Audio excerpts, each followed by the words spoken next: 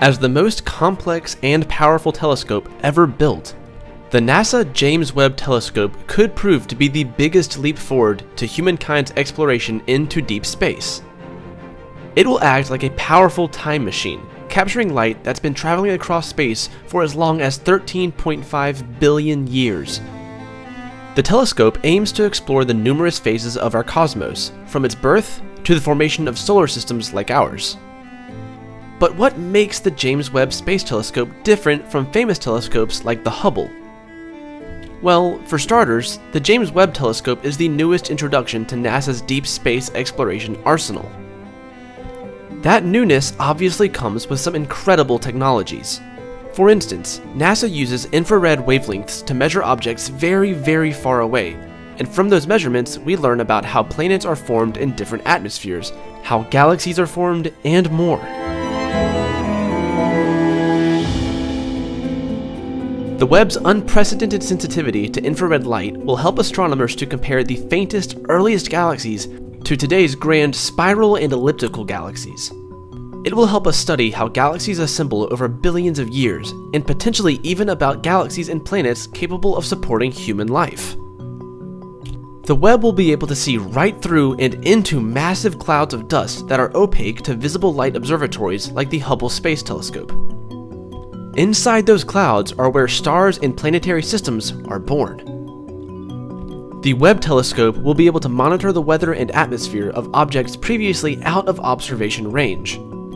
With the ability to search for signs of life, water, and atmospheric pressure, the possibility that the James Webb telescope could find an Earth-like planet doesn't seem so far-fetched. The James Webb will be stationed in deep space, beyond the orbit of the moon and out of the reach of easy servicing. It is intended to last at minimum of 5 years, perhaps even 10 if all goes according to plan. For astronomers hoping to squeeze Hubble-like levels of discovery out of the Webb's limited life, every moment of the telescope's time will be precious. The James Webb Telescope will orbit the Sun a million miles away from Earth at the place called the second Lagrange point. The second Lagrange point is four times further away than the Moon, that's 1.5 million kilometers or 940,000 miles away from Earth. It has a sun shield the size of a tennis court to maintain its heat-sensitive vision. This will reduce the temperature between the hot and cold sides of the telescope by 315 degrees Celsius or 600 degrees Fahrenheit. This enormous space observatory has an 18 segment primary mirror, which is 6.5 meters or 21 feet in diameter and is 100 times more powerful than the Hubble Space Telescope.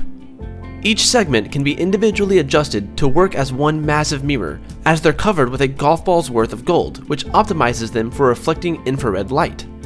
This coating is so thin that a human hair is 1,000 times thicker. The James Webb Space Telescope will be so sensitive that it could detect the heat signature of a bumblebee from beyond the moon. Alongside NASA, a myriad of international collaborators are a part of the Webb project, including the European Space Agency and the Canadian Space Agency. Over 1,200 scientists, engineers, and technicians from 14 countries helped to build it. The James Webb Space Telescope is expected to launch in March of 2021. Needless to say, the scientific community at large can't wait to see what discoveries it makes.